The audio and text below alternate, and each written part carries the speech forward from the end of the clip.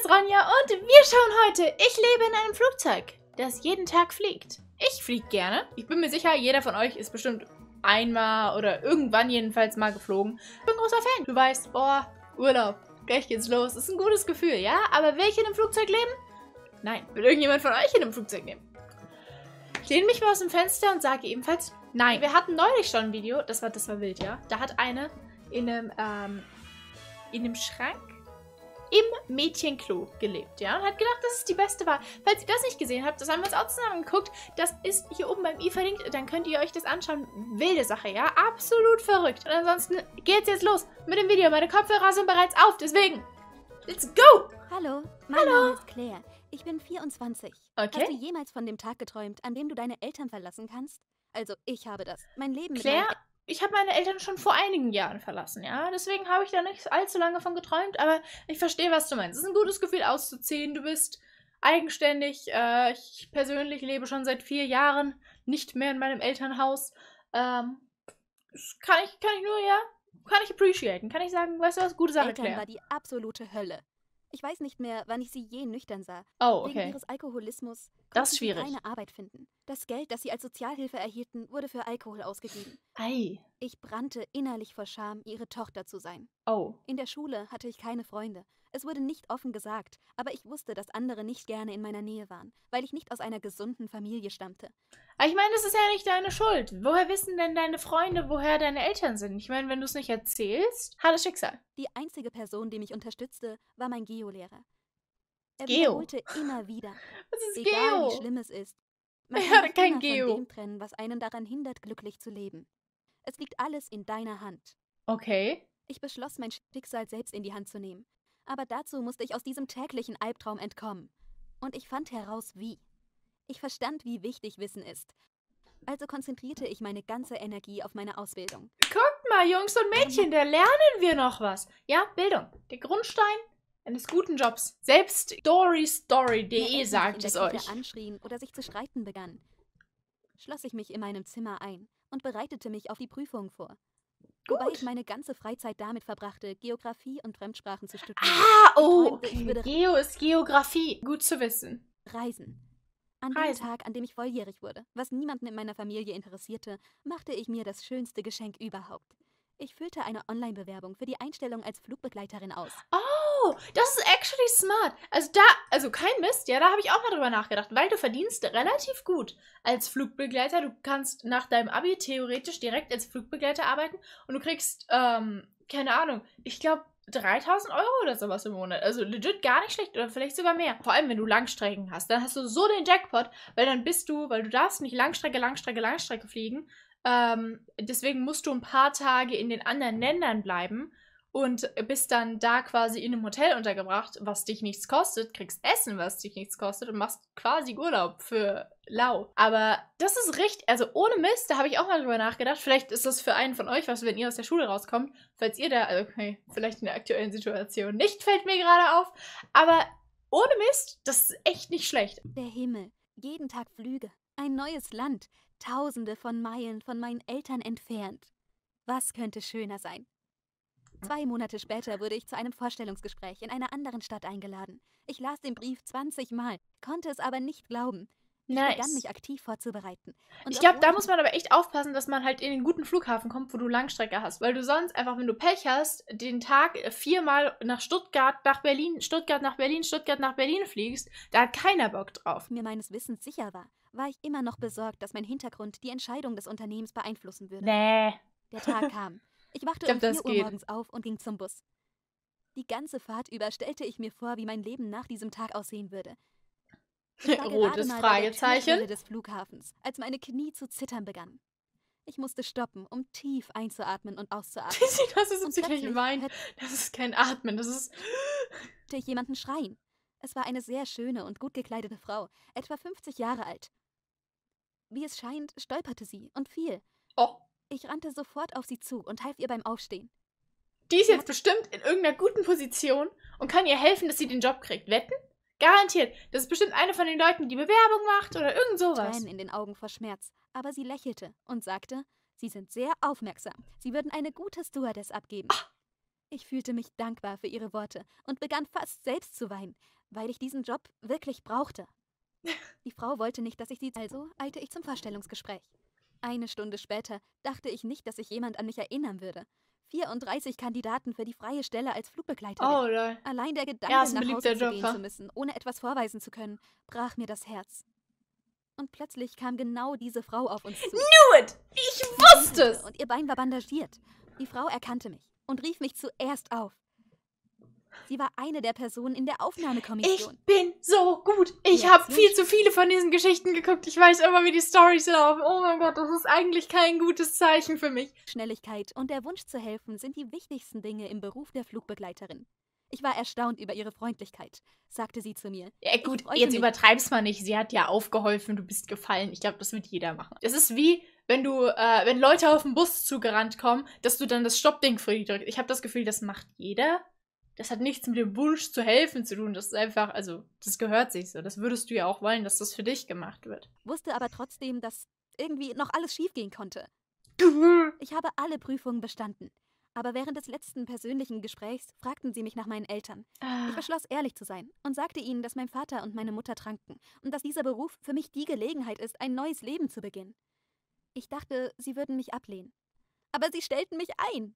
Den nice. ganzen nächsten Monat machte ich einen Vorbereitungskurs. Ah, siehst du, Obwohl nicht ich kenne mich so gut aus. ersten Versuch klappte und ich üben musste, war ich nie glücklicher. Das waren die besten Tage meines Lebens.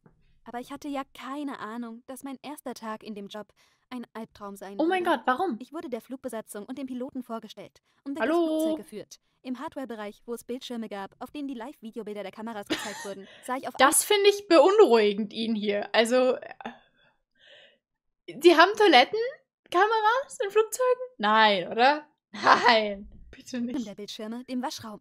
Ich zeigte es dem Piloten, furchtbar peinlich berührt. Steve, der Pilot, war überrascht. Wissen Sie nicht, dass wir überall im Flugzeug Kameras haben? Das ist ich wurde Hallo, rot. Joey. Natürlich ging ich erst am Ende des Fluges in den Waschraum und hielt es zurück. Meine Stimmung war verdorben. Und obwohl ich von diesem Tag träumte, gab es keinen Schimmer von Freude. Das ist Quatsch, oder? Warte mal, das google ich jetzt. Jetzt bin ich verunsichert. Dank dem Artikel von futurezone.de, du hast keine Kamera in Toiletten, ja? Das ist unüblich. Das war irgendwann wohl mal ein Vorfall, dass das irgendein Fluggast gemacht hat, der dann halt erwischt wurde und ich glaube verknackt wurde oder sowas. Aber das ist nicht üblich. Hier, frei erfunden, Lügenpresse, Lügenalarm, wuhu.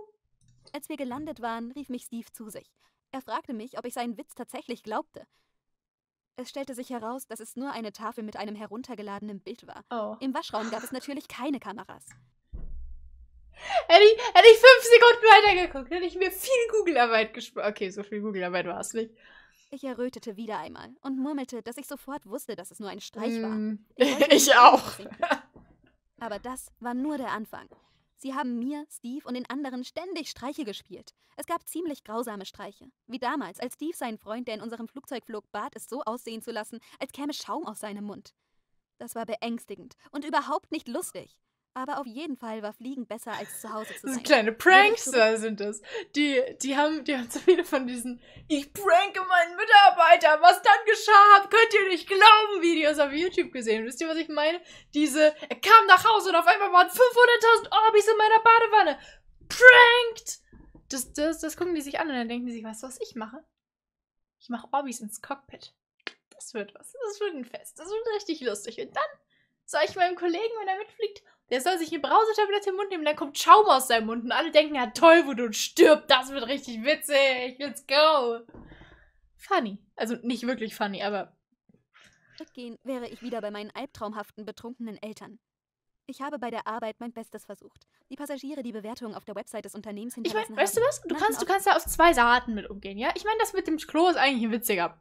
Also, das ist okay, das ist ein lustiger Gag. Du kannst einfach mitpranken. Ich meine, die, die sind ja tolerant, ja? Scheinbar, wenn die hier öfter mal einen Spaß machen, dann kannst du da auch mal einen Spaß machen. Kauf du dir die Orbis, hau du die Orbis ins Cockpit. Keiner hält dich auf, ja? Lebe deinen Traum. oft meinen Namen und schrieben, dass ich eine höfliche und aufmerksame Stewardess bin. Claire ist super. Darüber hinaus sprach ich vier Sprachen. Meine Vorgesetzten schätzten meine Bemühungen und schickten mich in die erste Klasse. Es war Oh. so cool. Die Kabinen hatten richtige Betten, die sich in getrennten Abteilen befanden. Claire hat winzige Hände. Es gab sogar Duschen. Oh. Die Zahl der Schichten nahm nur noch zu und ich kam immer seltener nach Hause.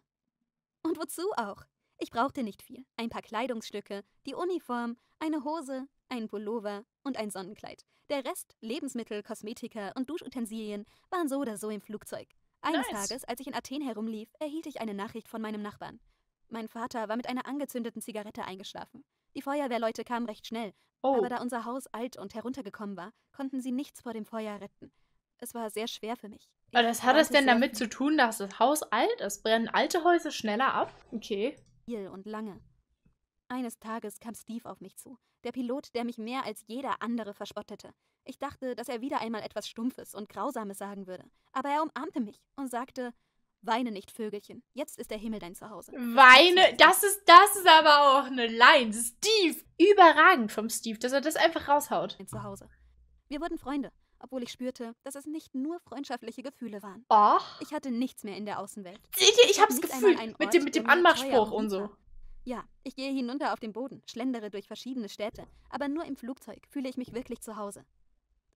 Seit dieser Sache Steve. sind nun vier Monate vergangen und während dieser ganzen Zeit hat niemand von der Besatzung Witze über mich gemacht. Ich dachte, dass es so weitergehen würde. Aber, Aber? einmal ging ich mich umziehen und sah eine Schlange unter meinen Sachen. Aber es ich war, kreischte durch das ganze Flugzeug. es war keine echte Schlange. Es, es war ein Kuscheltier. Und du hast sie einfach als Schlange Es gesehen. dauerte wahrscheinlich mehr als eine Minute. Ich konnte nicht aufhören, denn Schlangen, das ist meine größte Angst. Mein Kollege lief auf mich zu, Das ist eine Frau. Nichts da, mein Kollege. Schlange und lachte. Am Ende war sie aus Gummi. Ein Ja, komm on, das sieht man doch. Eine Gummischlange. Die sehen nicht echt aus, ja? Habt ihr schon mal eine Gummischlange gesehen? Ich habe schon mal eine Gummischlange gesehen. Die bewegen sich nicht, ja? Das ist ein kleiner. Das wissen viele gar nicht über Gummischlangen, aber die bewegen sich nicht. Normale Schlangen, ähm, die bewegen sich. Ja, deswegen. So, da könnt ihr es ja, also für euch, so ein kleiner Tipp, äh, daran könnt ihr das erkennen. Was soll ich sagen? Bin ein kleiner Profi mit Schlangen. Spielzeug, mit dem mir wieder ein Streich gespielt wurde. Natürlich wusste ich sofort, wer es war. Steve! Ging ich in die Pilotenkabine, weil heute flog mal wieder Steve. Ich Oh! war bereit, alles zu sagen, was ich während der ganzen Zeit, die ich dort gearbeitet hatte, in mir angesagt Drei Witze, ja. Steve hat drei Witze gemacht, ja. Erst mit den Kameras am ersten Tag, vier Monate sind vergangen, jetzt mit der Gummischlange, es geht nicht mehr. Steve, wie kannst du nur? hatte. Aber was ich sah, schockierte mich. Steve streckte die Hand mit einem Ring aus und sagte Ach. auf den Lautsprecher: Claire, meine Liebe zu dir ist so grenzenlos wie der Himmel. Ich möchte, dass du meine Frau wirst. Ich habe ja gesagt, ohne auch nur eine Sekunde darüber nachzudenken. Natürlich hatte Was? ich Angst davor, seine Mutter zu treffen. Ich kannte sie noch nicht und traf sie zum ersten Mal. Und dann auch noch gleich als Verlobte. Wart ihr zusammen überhaupt? Waren sie zusammen? Ehrliche Frage, waren sie zusammen? Oder ist das jetzt einfach so aus dem Nix? Ich meine, sie hat gesagt, sie hat das Gefühl, es entwickeln sich so mehr, mehr Sachen, aber selbst wenn sie zusammen waren, vier Monate, nach vier Monaten machst du doch niemandem einen Antrag. Das ist doch Quatsch. Steve, das ist ein, das ist ein Prank. Oh, jetzt, jetzt, das ist der Prank. Und dann sagt er, haha, war nur ein Witz. ihres Sohns. Steve flüsterte mir ins Ohr, ich solle mir keine Sorgen machen, denn ich habe ein gutes Herz und das ist schließlich das Wichtigste für seine Mutter. Und so kamen wir zu ihm nach Hause und ich sah die Frau von der Kommission, die ihn eingestellt hatte. Ich war erfreut und beruhigte mich. Aber zu früh. Ihr Gesicht änderte die Farbe, als sie mich sah. Dann sagte sie vor Steve, dass ich schlechte Gene habe und unsere Kinder den Alkoholismus erben könnten. Ich hatte nicht erwartet, das Funktioniert das so? Not sure. Steve sah auch verwirrt aus. Ich konnte es nicht glauben. Ich dachte, du und die, und die Mutter sind, sind so. Als ich dachte, dass es nicht schlimmer sein könnte, sagte sie, wenn ich Steve heirate, würde sie alles tun, damit mich keine Fluggesellschaft mehr einstellt. Aber ich liebe meinen Job und er ist alles, was ich habe. Und ich liebe Steve, denn er ist der einzige Mensch, der mir nahesteht. Was ist denn mit der Mutter Es auf einmal mir das los? Herz, wenn ich daran denke, dass ich mich nur für einen von den beiden entscheiden kann. Das ist ja mal ein Quatsch. Das ist ja mal ein reiner Quatsch. Nee, so funktioniert es doch nicht. Das ist, die, es fängt normal an. Es ist, es ist 10 Minuten ganz normal. Und dann in den letzten 30 Sekunden kommen sie an und sagen so, ja, aber ha, eigentlich nicht. Und jetzt ist die Mutter böse. Und ihr habt eigentlich gedacht, die sind Freunde, aber ha, sind sie nicht. Das war's. Ja, danke für nix. Wenn euch das Video gefallen hat, dann lasst gerne einen Daumen hoch. Ich habe eine ganze Playlist von solchen Videos. Ähm, guckt ihr euch hier in der Endcard an, dann äh, könnt ihr die hintereinander wegschauen. Die sind nämlich sehr witzig. Und äh, falls ihr mich zum ersten Mal seht und gerne mehr Videos von mir sehen möchtet, dann abonniert doch diesen Kanal. Oder falls ihr schon länger hier seid, aber aus irgendeinem Grund, ja, ich wüsste nicht warum, äh, noch nicht gemacht haben solltet, dann abonniert gerne. Dann äh, seht ihr fast täglich neue Videos. Macht's gut, bis morgen. Ciao!